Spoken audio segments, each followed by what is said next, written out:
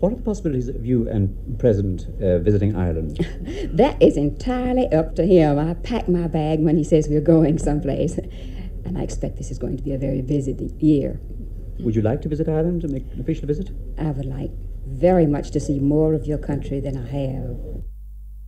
Oh, Mrs. Johnson, may I say how very welcome you are to Ireland, and I hope that upon your next visit you will spare the time to come in and see us at Limerick. You are very, very welcome indeed. This is your first occasion to touch the Irish shores. I'm sorry that that's the case, because Ireland is uh, one of my pet uh, ideas of having a sightseeing tour sometime when I can do it. And the reason we came here was because the weather's so bad we had to come to Ireland where it was good. Do you think you will get to Ireland before? I you- hope so. Yes, I hope so. Now, this is a presidential year. Any forecasts? No.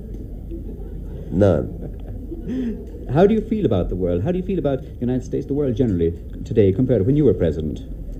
The world is improving all the time, and we're getting closer to the idea that the United Nations will act as the United States as a whole does.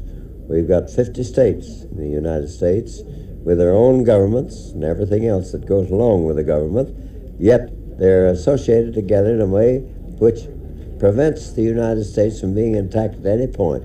And when we get far, far, far enough along, so the people in the United Nations understand what they have, we'll have the same sort of peace that we have at home.